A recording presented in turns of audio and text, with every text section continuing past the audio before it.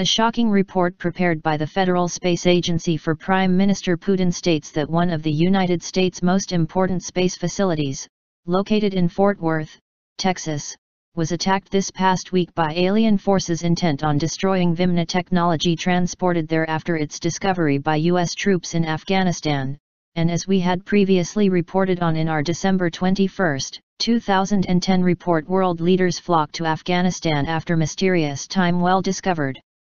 According to this report, the National Aeronautics and Space Administration's, NASA, Aviation Systems Division, located on a remote section of the giant Dallas-Fort Worth International Airport and responsible for engineering the software needed to control the airspace over North America, suffered a nearly half-hour-long sustained attack resulting in the deaths of over 500 U.S. military and space contractors working on Vimana technology.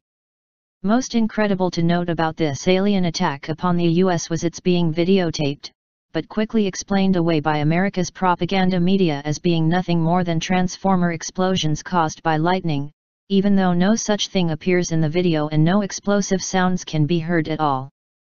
Important to note about Vimana technology is that this mysterious aircraft is the long-known mythological flying machine described in the ancient Sanskrit epics that existed prior to the last overturning of our Earth and were purported to have weapons eerily similar to today's atomic bombs. The reason for the Americans transporting the captured Vimana technology to their NASA facility in Fort Worth, this report continues, was to attempt its use in one of the United States' most secret flying machines described as the Black Triangle said to have been reverse-engineered from alien technology and stationed there since the late 1980s. Interesting to note is that one of these American Black Triangle UFOs can, also, be seen on videotape after this past August when a game camera set up by Lisa Brock Piekarski near the Dallas-Fort Worth airport captured it hovering in the night sky for over two hours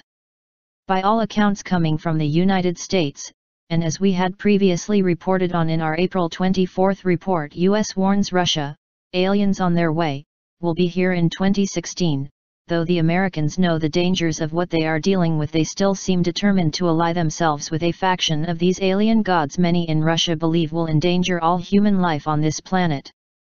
In our May 10 report RIP in Space-Time Vortex over Russian city shocks scientists we further noted that the motherland is not immune to these types of alien attacks either, and which by all accounts are believed will get worse as a new NASA video appears to show that the massive UFO armada headed towards Earth behind the mysterious comet Elenin is much larger than originally thought. To the American people being told, or for that fact any Westerner, about the true and grim situation relating to these returning ancient gods there appears to be little likelihood. But as the Sorcha Faal noted many years ago in her seminal work Battle Begins for Throne of This World, The Return of the Einherjar Warriors, when the noted French seer Nostradamus wrote in Quatrain 6, 21 the words, When those of the Arctic pole are united together, great terror and fear in the east, newly elected, the great trembling supported, Rhodes, Byzantium stained with barbarian blood, the next overturning of our world would be close at hand. And with this past week's signing of a new Arctic agreement between Russia, the US and other Arctic nations this future time warned about by Nostradamus might be closer than anyone can believe, especially when viewed in the light of new WikiLeaks cables showing the fears that an Arctic resources rivalry could very well lead to military conflict between NATO and Russia.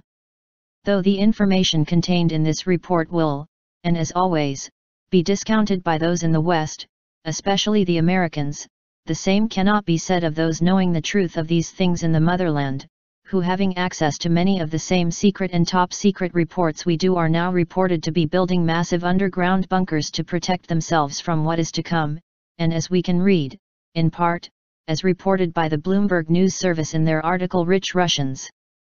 Buy bunkers on apocalypse angst. Terrorism can be good for bunker builders. An apocalypse can be even better for business. Danila Andreev started building panic rooms three years ago, when fears of terrorist attacks and commercial disputes turning violent created demand in Russia. Now he's selling survival bunkers for as much as $400,000 each to capitalize on angst over theories the world will end next year. I myself am not a believer in doomsday scenarios, Andreev. 31, whose Spitsjuproenite company is completing 15 bunkers at hidden locations across Russia, said at his office in central Moscow. But when you start hearing clients talking about the end of the world, it gets you thinking. Thinking, however, appears to be lacking among the once proud American people who once lived by the motto, to be forewarned is to be forearmed, but whose new credo seems to be who cares.